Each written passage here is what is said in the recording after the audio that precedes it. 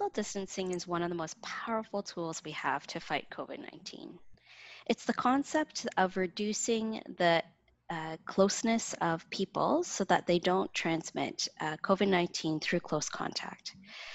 COVID 19 is spread through uh, coughing or uh, speaking to people within two meters for um, a prolonged period of time.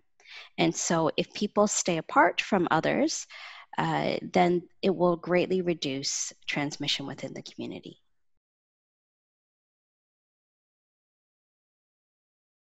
Key steps to uh, maintain physical distancing include staying at home as much as possible, only going out once a week for essential trips to the grocery store or pharmacy, keeping more than two meters away from others as much as possible.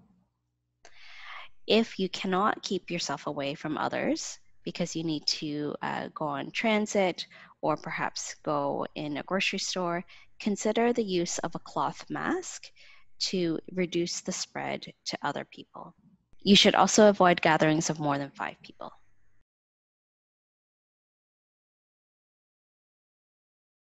Can still go outside um, what, at least once a day uh, to get some fresh air and take walks by yourself uh, or with your household member, but while maintaining physical distancing of greater than two meters from other people.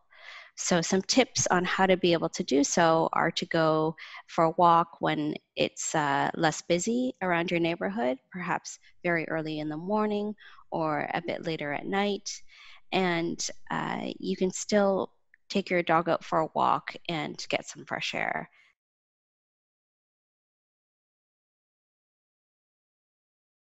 Social distancing was the term that was first used when we started to describe uh, separating from others as much as possible to reduce the spread of COVID 19. The concept is evolved to indicate that we want to physically distance from other people, but still maintain social connections through virtual means. So these can include keeping up to date with your friends and family through phone, through virtual chats, um, and other, uh, other ways through technology.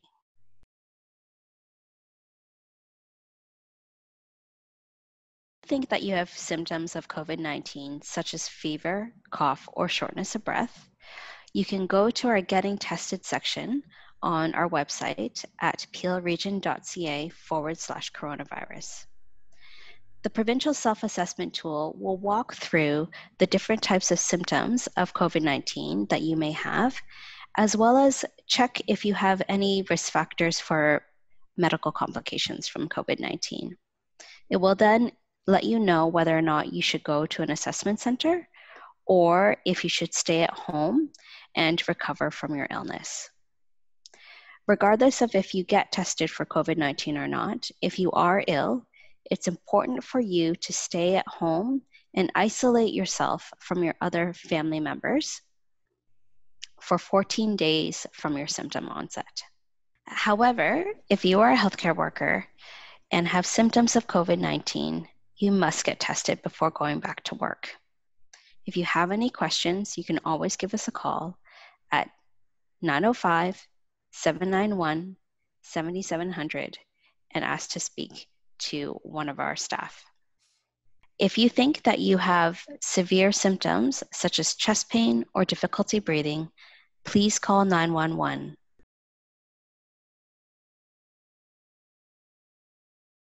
It's important to watch for signs and symptoms of COVID 19, such as fever, cough, or shortness of breath, for 14 days from your last exposure. If you do not have any symptoms, you do not need to get a test for COVID 19. However, if symptoms do develop, please take the online COVID 19 self assessment tool to see if you need to get tested.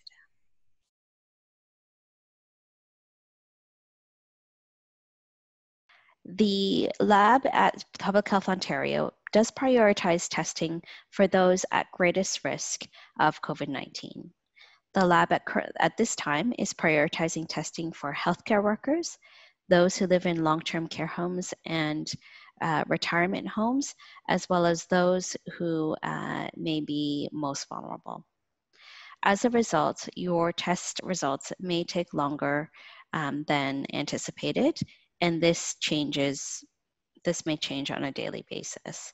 So we do appreciate your patience for waiting for your test results, and you can check yourself on the patient lookup tool that is on our website at peelregion.ca forward slash coronavirus.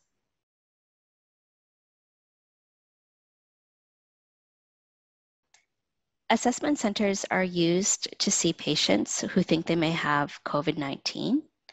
We have several locations for Peel residents available, including at the Mississauga and Credit Valley sites at Trillium Health Partners in Mississauga, at uh, Peel Memorial Center in Brampton, and at Headwaters Hospital in Orangeville. For more information about assessment centers, you can visit our website at peelregion.ca forward slash coronavirus.